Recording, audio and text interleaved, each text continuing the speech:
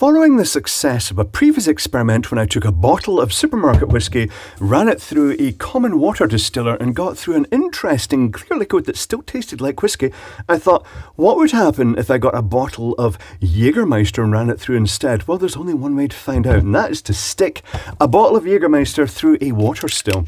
So I'm going to open this bottle of Jägermeister, I'm going to pour it in, I'm going to throw a stupid soy face for the YouTube thumbnail, as is traditional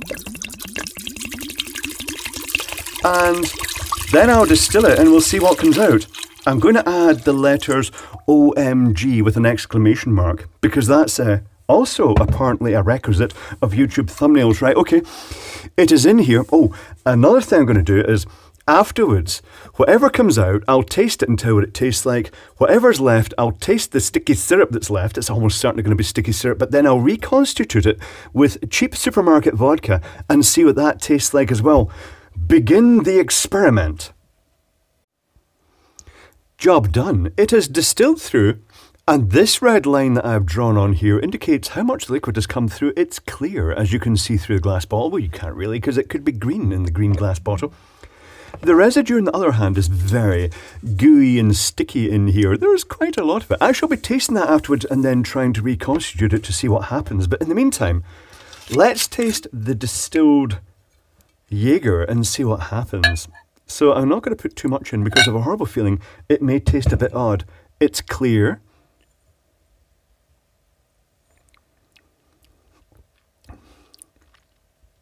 It's carried a lot of the Jägermeister flavours across but without the sugar which you'd expect. It's not bad, but it's perhaps, uh, it would take a bit of getting used to. Mm. It's quite bitter, but it's not too bad. Okay, now let's just stick my finger into this container and taste this stuff. Ooh. Mmm. That's mostly sugar. Okay, tell you what then. Let's get the bottle of cheap supermarket vodka, courtesy of the Co-op. The Co-op puts the ingredients on their bottles. So this one is ingredients, demineralized water and grain alcohol. Water and ethanol, that's what vodka is. To be all chemically about it. So let's pour this into the container.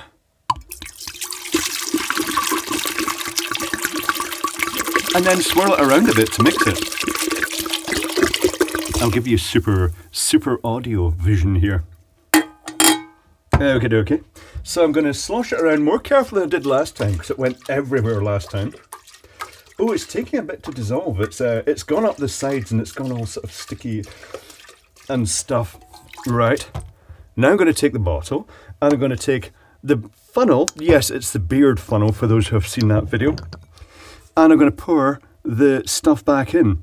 So this does look like Jägermeister now, but is it as thick and sticky? There's only one way to find out.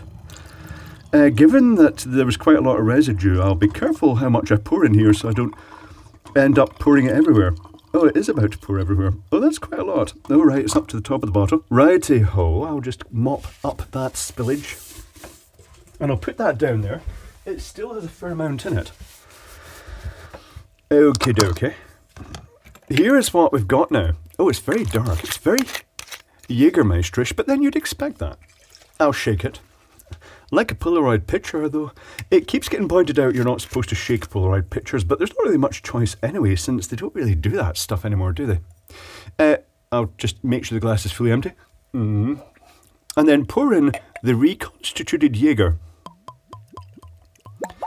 Is it going to taste like Jägermeister?